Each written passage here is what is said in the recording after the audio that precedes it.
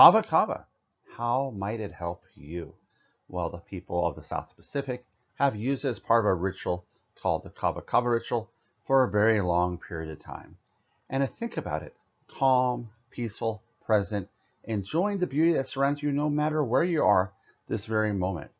Now imagine if you could take and use something like I use in my clinical practice and myself personally to just kind of be more present, to not be part of the helter-skelter excess connectivity.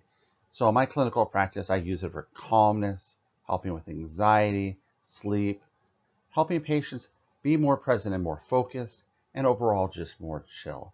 I like to harness Kava Kava in my clinical practice for calm and clear minds. Piper methysticum is a tool that has been used for eons in human history, and it can be incorporated into one's wellness regime either on a daily basis or on an as needed basis. Maybe you cruise along most of the time, most of the week, just doing fine, but maybe Mondays are the hiccup that kind of catches your attention.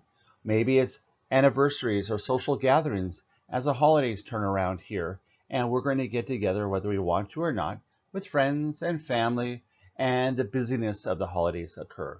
Well, imagine if you had a little friend, a little tool to allow you to have the South Pacific in your purse, your pocket, or your medicine cabinet. So it's something to consider. I use it all the time with my patients, and may it bless you as it's blessed so many of my patients with wellness, calmness, and chill.